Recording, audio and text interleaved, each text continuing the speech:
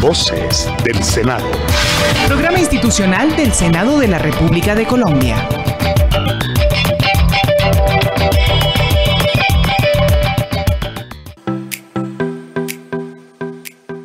Damos gracias al equipo de frecuencia legislativa dirigido por el jefe de prensa Diego Monroy, quienes ya les contaron todos los hechos noticiosos de la Cámara de Representantes y nos permite continuar informando sobre todos los sucesos del Congreso. Es el turno de escuchar las noticias del Senado de la República. Voces del Senado. Iniciativa de la mesa directiva del Senado encabezada por el presidente de la corporación, Efraín Cepeda Sarabia, primer vicepresidente Andrés García Zucardi, segundo vicepresidente Antonio José Correa, el secretario general Gregorio El Hash Pacheco y la directora administrativa Astrid Salamanca Rajín. Amables oyentes de la Radio Nacional de Colombia, muy buenos días. A partir de este momento inicia Voces del Senado, fielmente acompañando las mañanas de los domingos desde los estudios del Capitolio Nacional. Yo soy Sandra Pupo y debo ofrecerles excusas a las personas que se conectan con nosotros por las irregularidades en mi voz. El clima de la capital está frío y lluvioso por estos días. Y bueno, estas son las consecuencias. Sandra, no te preocupes, con seguridad muchos compatriotas, al igual que tú, están afectados de la voz. Pero debemos decir que hoy es una mañana radiante, hermosa. Así que, amigos oyentes de la Radio Nacional de Colombia. No se desconecten de las 51 frecuencias a nivel nacional. Les damos la bienvenida a las noticias legislativas en Voces del Senado.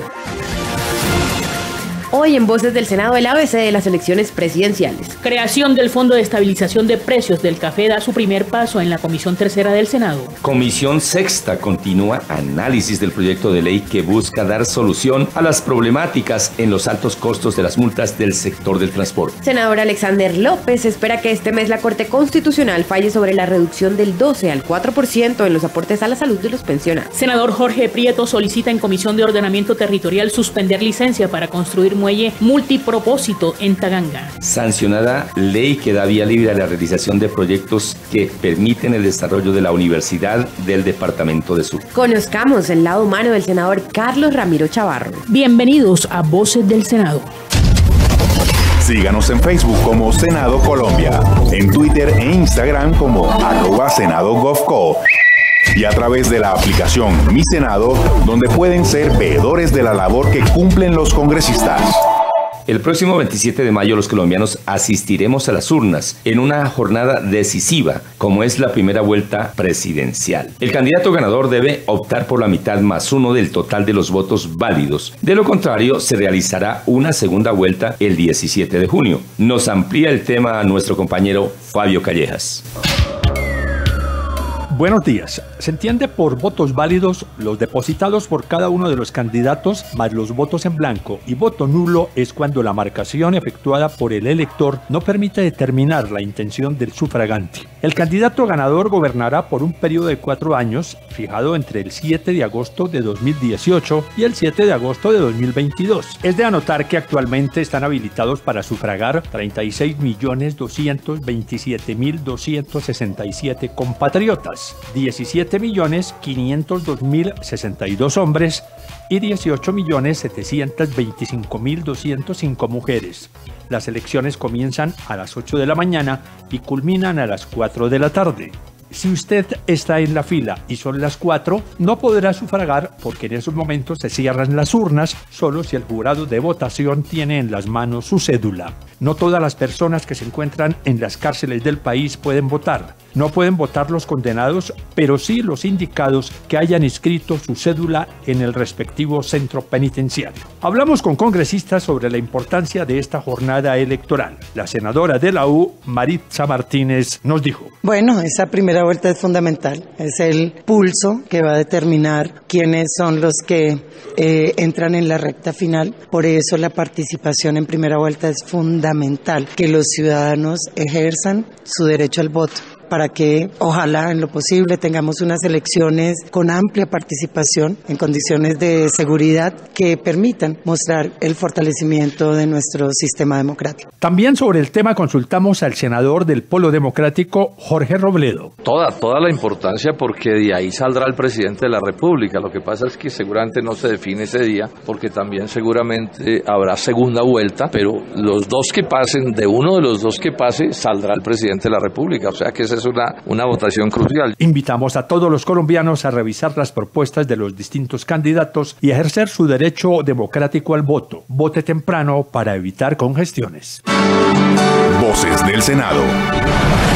Y mucha atención porque fue aprobado en primer debate el proyecto de ley que busca crear el Fondo de Estabilización de Precios del Café. ¿Qué más pasó en el debate de este proyecto? Pedro Elías Vargas con la información. Pasó a plenaria de Senado el proyecto de ley que beneficiará al gremio cafetero del país. El senador Navarro Wolf, ponente de esta iniciativa, dijo al respecto que además de la creación del fondo, se contaría con un seguro que garantiza los recursos requeridos para este fin. El café es un producto estrella y importantísimo en esta sociedad. Hay 580 mil cafeteros, el 95% de menos de 5 hectáreas. Entonces, una baja en los precios del café eh, para comprarle al productor puede llevar a una situación social muy grave en el país. Por eso, se da un fondo de estabilización de precios con un seguro como mecanismo de, de, de garantía y que se va a cumplir ese fondo. Es una combinación de un fondo clásico de estabilización de precios con un seguro, con una prima de seguro que hay que pagar, que pagarían el Estado y las federaciones de cafeteros para los pequeños productores, que no tendrían que pagar un centavo, y para los grandes productores sí,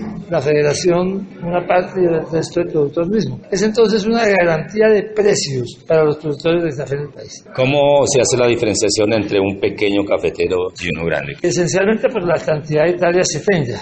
Se consideraría un pequeño cafetero el que tenga 5 hectáreas o menos, que son el 95.7% de los productores. Y los grandes cafeteros que tienen más de 5 eh, pues son los que producen el 23% del café del país. El senador Carlos Ramiro Chavarro destacó la pertinencia de este proyecto de ley que beneficiará de manera especial a los pequeños cafeteros. Este proyecto de ley me parece lo más oportuno, más aún cuando eh, la variabilidad del precio del café está afectando de manera directa a los productores. Ya lo hemos hecho en el pasado. Eh, nosotros por allá en el 2013 hay que recordar que ya con la anuencia del gobierno nacional se apropiaron más de un billón de pesos para apoyar eh, el, el, precio y el ingreso de los caficultores con el, el, PIC que se denominó en su momento. Sobre el mismo tema, Roberto Vélez, presidente de la Federación Nacional de Cafeteros, recalcó la pertinencia de la iniciativa. Miren, muy contentos de ver cómo la Comisión Tercera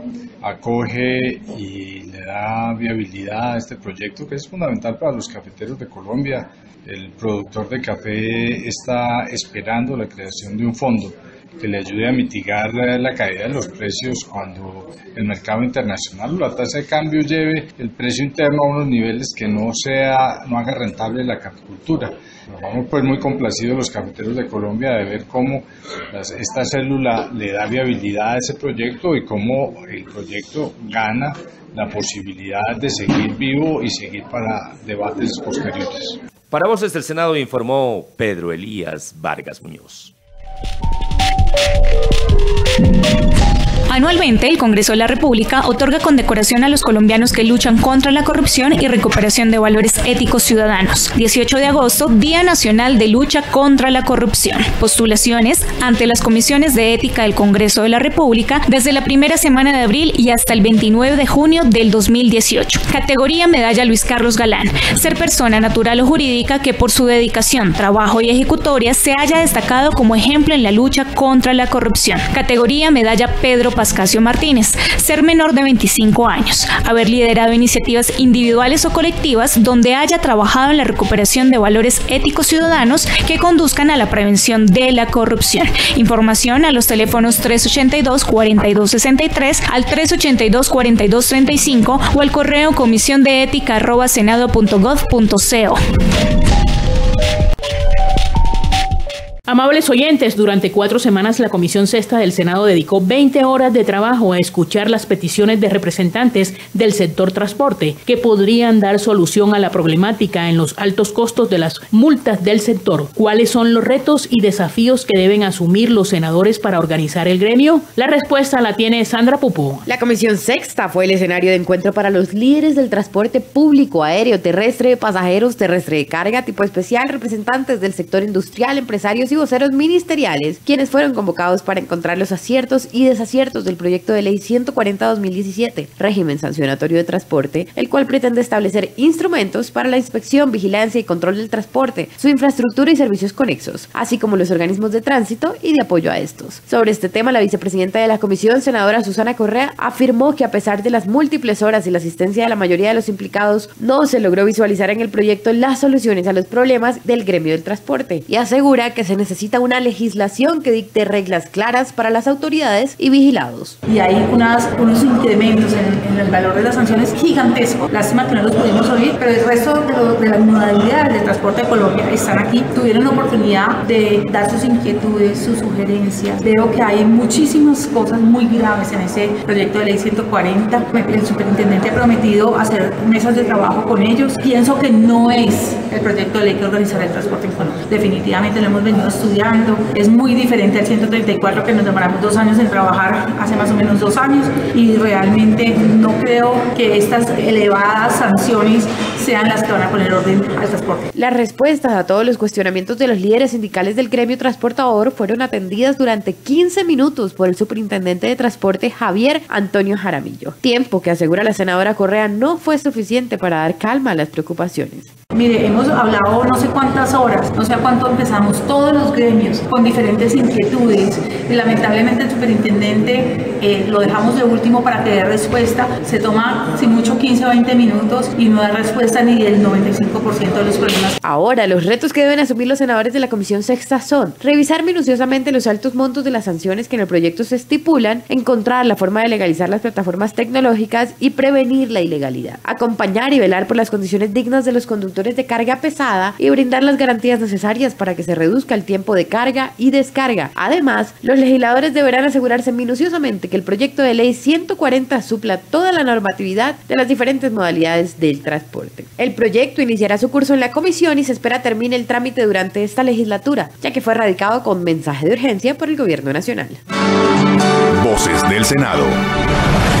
Más de 1.550.000 pensionados en Colombia serán beneficiados con la reducción del 12 al 4% en los aportes a salud que mensualmente les descuentan del pago de la mesada pensional sobre los ingresos reportados. Luz Elena Salgado con el informe. El senador del Partido Polo Democrático Alternativo, Alexander López, dijo que la Corte hará justicia con el 76% de los pensionados que reciben un salario mínimo y pagan 80 mil pesos mensuales en salud. Ya la Corte eh, inició el estudio eh, de la constitucionalidad de la reducción del aporte en salud del 12 al 4%. No olvidemos que eh, la Procuraduría General de la Nación ya emitió concepto favorable a esa reducción del 12 al 4% y hombre, yo estoy absolutamente seguro que este beneficio para 1.600.000 pensionados y jubilados va a ser un hecho en los próximos dos, tres meses, que es el tiempo que estimamos que va a demorarse este, este estudio en la Corte Constitucional. Enfatizó el congresista López que los trabajadores nunca fueron advertidos que durante el disfrute de su compensación tenían que pagar la salud que aportaban los empleadores. Este 12% que están pagando los pensionados es un 12% absolutamente injusto, infame, impagable y los recursos salen de los mismos recursos de los pensionados. Así que eso no es que el gobierno tenga que sacar un solo peso, no, esta plata es de los mismos pensionados de Colombia porque ellos fueron los que ahorraron su dinero. Nosotros nunca nos dijeron que cuando nosotros estábamos ahorrando teníamos que salir pensionados y después pagar también eh, el sistema de salud que pagaban los empleadores. Entonces, esto es una situación de justicia y yo considero pues que la Corte constitucional le va a entregar ese derecho a los pensionados de Colombia. El 76% de los pensionados reciben una mesada de salario mínimo, de los cuales se restan 80 mil pesos mensuales para el sistema de salud, lo que el senador López calificó de injusto. De aprobar la Corte el proyecto, los pensionados en Colombia mejorarían sus condiciones de vida en temas como alimentación y recreación. Para Voces del Senado informó Luz Elena Salgado Muñoz.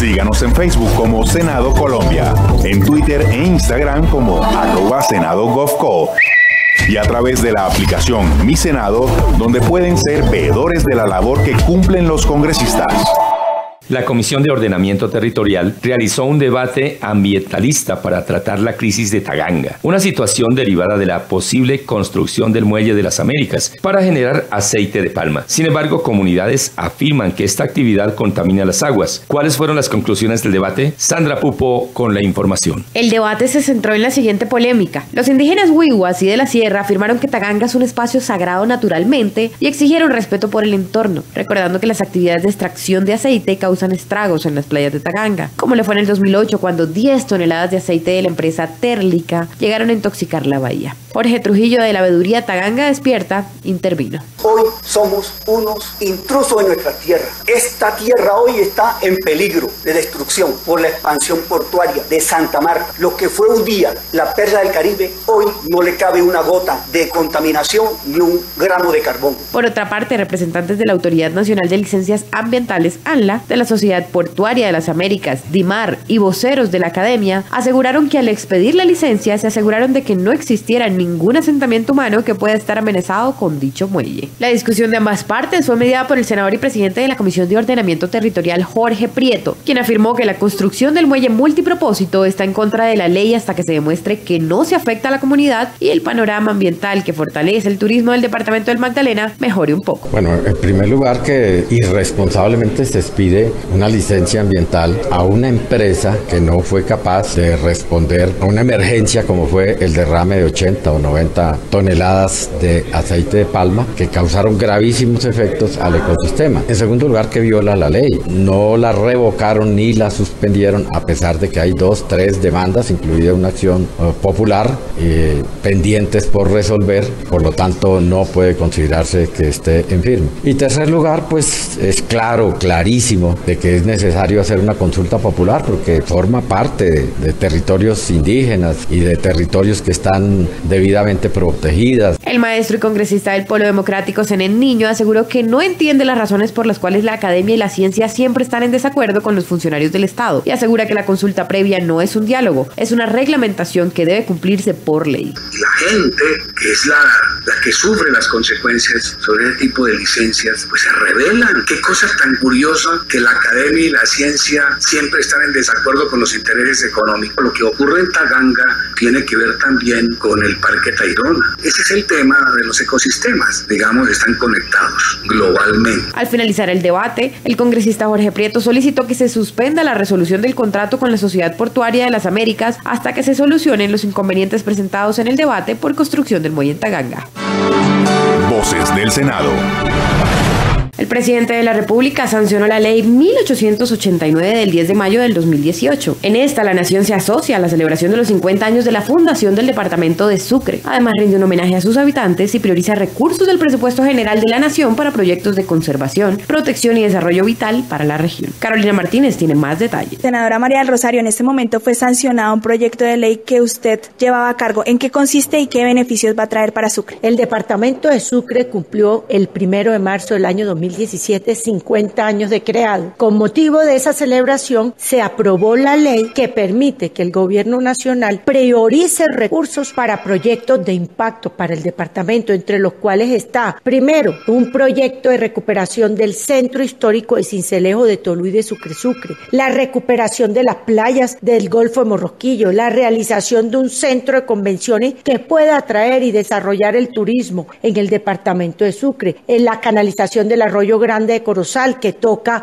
cuatro municipios del departamento. Continuar el proyecto de la Mojana Sucreña, que a raíz de la ola invernal del 2010 hubo una gran pérdida de vidas, de recursos y que necesitamos que esa sea un área fértil. Son 400 mil hectáreas que hay que ponerlas a producir. Voces del Senado. En Voces del Senado queremos que usted conozca el lado humano de los congresistas. En esta ocasión el turno es para el senador conservador Carlos Ramiro Chavarro, quien conversó durante un café matutino con nuestros compañeros Carolina Martínez y Pedro Elías Vargas Muñoz. Senador Carlos Ramiro Chavarro, Opita, de Garzón Huila. Ha tenido el privilegio de estar en el Congreso de la República dos periodos en la Cámara de Representantes, dos en el Senado de la República. Transportémonos en el tiempo y la distancia a su niñez. ¿Cómo fue su niñez? Bueno, tengo recuerdos de mi niñez feliz. Este, yo viví, bueno, nací en Bogotá por tránsito eh, universitario de, de, mi, de, mis padres. Estaban estudiando acá en la universidad, o recién egresados. Como a eso de los dos años, yo creo, nos fuimos para el Huila ya después de que ellos se graduaron de su universidad. Mi madre en una especialidad y padre igual, tuvieron que quedarse para especializarse y luego retornaron allá por cosas de trabajo. Y llegamos al municipio de Garzón, Huila y a pesar de no haber nacido yo en Garzón, pues yo yo soy garzoneño y, y más. Luego nos fuimos al Caquetá. Mi papá siempre estuvo en la rama judicial y mi mamá en la mayoría de su trabajo. Cuando se creó el departamento del Caquetá en el año 1982, crean el tribunal del Caquetá. Mi papá se va trasladado al Caquetá de magistrado a la sala penal. Entonces nos fuimos a vivir allá como por espacio de 5 o 6 años. Luego retornamos nuevamente a Garzón y por trabajo de mi madre yo terminé, terminé bachillerato en Villavicencio y ya vine a Bogotá a estudiar la universidad. Y inicia mi carrera política como universitario. Yo creo que como muchas de las personas pegando afiches, así empecé mi carrera. Absolutamente invisible en esa campaña. Pero lo hice con mucho, con mucho gusto, mucha pasión. Porque mi papá falleció muy joven a los 49 años en el 92. Recién ingresé yo a la universidad. Yo empecé la universidad en enero. Mi padre murió en mayo. Y de ahí en adelante ya empezó la construcción posterior de la elección en el 2002 como representante de la Cámara. De platos típicos, ¿qué, ¿cuál es su plato favorito? Yo soy lo más criollo que hay. No consigue usted uno, una persona más criolla que para comer que yo en primer orden el sancocho en todas sus presentaciones, obviamente empezando por el sancocho huilense. ¿Cuáles son los ingredientes? nosotros le ponemos plátano, yuca, auyama, pollo, mm, el, el, sancocho hecho en vasija de barro, como lo hacían los, los viejos con candela, con, con, con leña, pues ya en, este, ya en estas eras modernas eso no se debe ni decir, pero, claro, pero tú lo puedes hacer, digámoslo, con, yo tengo en mi casa una olla de barro y lo puedes poner en tu estufa de gas, la candela es, pues obviamente el sabor anterior, ese era mucho mejor. Y es muy bueno el sancocho huilense. Le puedes poner más, por supuesto. Costilla lleva carne también, costillita de cerdo, de, de carne de res, el más conocido como el trifásico. La, el asado huilense también es, es el plato típico en el Huila, pero lo, lo, he visto y tiene, con riesgo de equivocarme, pero es el cerdo, ese es hecho en, en, horno de barro con, con un adobo de, de hierbas. Yo me acuerdo ver alguna vez que vi la preparación con un poco de cerveza incluso, queda muy bueno, es muy sabroso. En cuanto a la música, el folclore colombiano. Total, total. Y si hay alguien que tiene tradición folclórica, soy yo. Mi padre era eh, abogado y además de abogado, yo creo que mi papá era, era compositor, poeta, músico, loco y de profesión. Y, y de hobby abogado. ¿Qué de ello le heredó? Bueno, me gusta escribir, me hubiera gustado, y yo creo que es una frustración que yo tengo, me hubiera gustado eh, tocar guitarra. Me fascina la guitarra pero como en esas épocas ligaban tanto, digámoslo, la, la bohemia, la música con el licor y con el trago y con, en fin, la bohemia. Y entonces, digámoslo, a mí me, me trataron de mantener aislado para no estar pues con ese tema que antes y especialmente en provincia está tan ligado, ¿no? Entonces usted sienta a tomar trago y usted se acuerda de su amigo músico, ¿cierto? Usted se acuerda o del que paga o del músico. que canta. Y entonces, y entonces yo creo que ahí hicieron, hicieron una buena tarea. Senador, volvemos otra vez en el tiempo. ¿Cuál fue el juguete o el regalo que usted más recuerda que recibió de parte de sus papás? Pues una bicicleta en la que me caí varias veces, no se me va a olvidar nunca en la vida, pero me acuerdo mucho de un juguete que era Messenger, porque era, era un juguete muñeco o los Transformers de ahora. El Transformers de mi época era el Messenger. Me lo regalaba mi abuelita. Yo creo que me lo dio durante no menos de 10 años consecutivamente. En todas las navidades me daba el mismo muñeco. Entonces, obviamente, no se me olvida la bicicleta, no se me olvida el Messenger. Bueno, usted nos da ciertas características de su papá. ¿También era el papá regaño? ¿Algún